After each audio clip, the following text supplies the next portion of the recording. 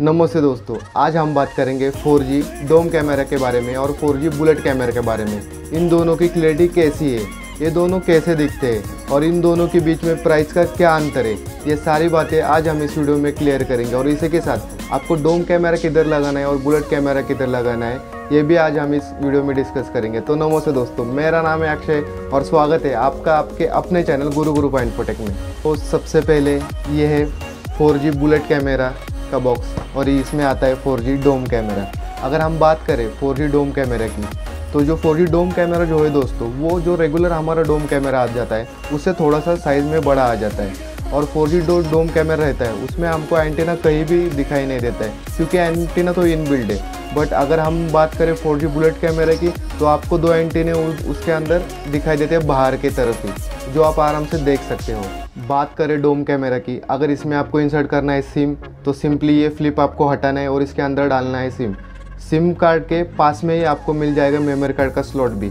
Same ऐसा ही है बुलेट कैमरा में। आपको सिर्फ़ स्क्रू निकाल के इसके अंदर आपका जो भी फोर वाला सिम है वो इंसर्ट करना है। दोस्तों, दोनों कैमरा तीन मेगापिक्सल में आ जाते हैं। और दोनों कैमरे की जो वीडियो क्लैरिटी है, वो बिल्कुल सेम है। और बिल्ट इन क्वालिटी भी अच्छी है और दोनों की बिल्ट इन क्वालिटी भी सेम ही है। अगर आप 4G कैमरा इंडोर लगाना चाहते हो तो दोस्तों मैं सजेस्ट करूँगा कि आप डोम के साथ ही जाइए। अगर आपको आउटडोर लगाना है तो ऑब्वियसली आप बुलेट ही लगाए क्योंकि जो बुलेट रहता है, वो वेदर प्रूफ रहता है। वो आराम से बाहर सर्वाइव कर जाएगा।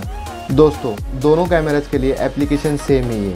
अगर आपको पता नहीं है कि एप्लीकेशन कौन सा है और इसे कैसे यूज़ करना है तो मैंने इसके बारे में पहले से एक वीडियो बनाई है आप सिंपली आई बटन के ऊपर क्लिक करके वो वीडियो देख सकते हो। और एक बात दोस्तों, अगर ऐसी कोई लोकेशन है जहाँ पे आप वाईफाई नहीं ले सकते या जहाँ पर वाईफाई नहीं है और आप चाहते हो कि उधर के कैमरे एक्सेस करना आपके फ़ोन से तो इस केस में ये वाला कैमरा आपके लिए बहुत अच्छा ऑप्शन है।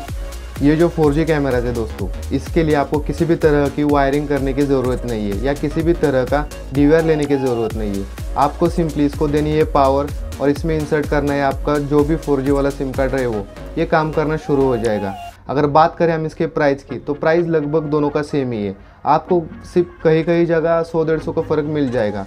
अगर आप चाहते हो इसे परचेस करना तो नीचे डिस्क्रिप्शन में मैंने मेरा नंबर दे दिया है। आप मुझे व्हाट्सअप पे कॉल या मैसेज छोड़ सकते अगर दोस्तों आपके कुछ डाउट हो तो मैंने इसके ऊपर पहले भी एक वीडियो बनाई है। आप सिंपली आई बटन के ऊपर क्लिक करके वो वाला वीडियो देख सकते हो।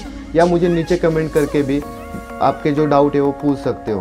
तो दोस्तों, अगर आप यहाँ तक आए हो तो सब्सक्राइब किए बिना न जाइए। तो दोस्तों, कैसा लगा आपको ये वीडियो ये भी मुझे नीचे कमेंट करके बताइएगा। तो चलिए दोस्तों, मिलते हैं जल्दी ही अगली वीडियो में। जय हिंद।